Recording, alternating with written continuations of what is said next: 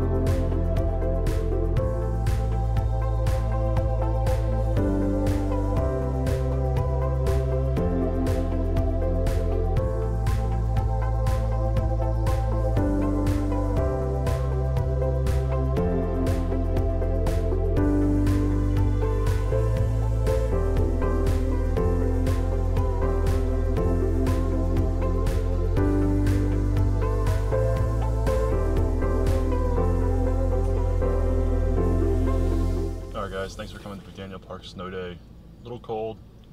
Well, it was really cold, but uh, but I made it through. And I uh, hope you guys enjoyed the video. And uh, we'll see you next time. Later.